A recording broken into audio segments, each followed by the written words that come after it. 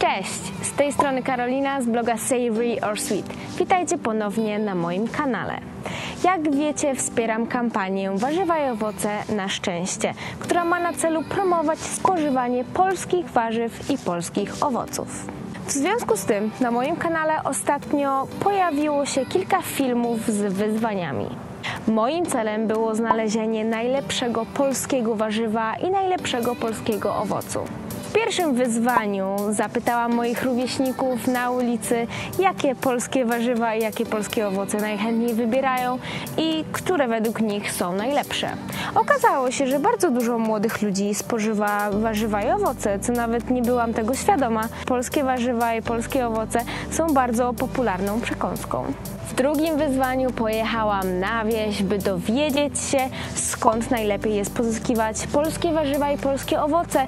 No i bez dwóch zdań, najlepiej jest jeść je prosto z krzaka i prosto z drzewa, jeśli jest to oczywiście możliwe, lub kupować je bezpośrednio od rolników, farmerów i hodowców. Ja akurat mam ten przywilej, że moja rodzina pochodzi ze wsi, więc zazwyczaj to właśnie od nich mam warzywa i owoce. Natomiast trzecie wyzwanie było najbardziej szalone. W trzecim wyzwaniu moim celem było przetestowanie polskich warzyw i polskich owoców w akcji. Mm, Dlatego też udałam się w miejsca publiczne, by sprawdzić, czy dobrze nadają się one jako przekąski. Przetestowałam jedzenie w muzeum, na stadionie i w kinie. Był to z pewnością film z bardzo dużym przymrużeniem oka.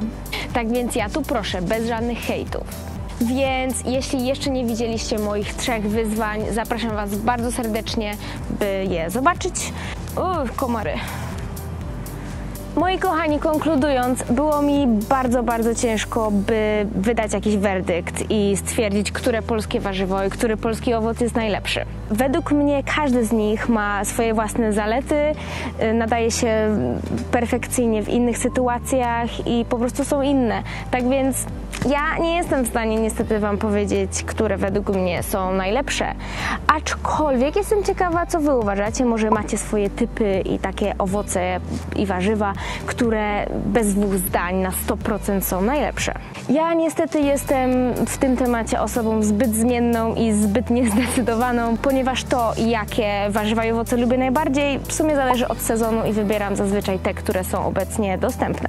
Ale moi mili, to jeszcze nie koniec poszukiwań, ponieważ już niebawem kolejny influencer i kolejna postać z internetu zajmie się tą sprawą i przetestuje dla Was kolejne polskie warzywa i kolejne polskie owoce i będzie szukała dalej.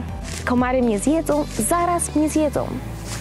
Ale zachęcam Was do śledzenia fanpage'a kampanii Warzywa i Owoce na Szczęście, ponieważ tam będzie więcej informacji o tym, kto będzie szukał dalej.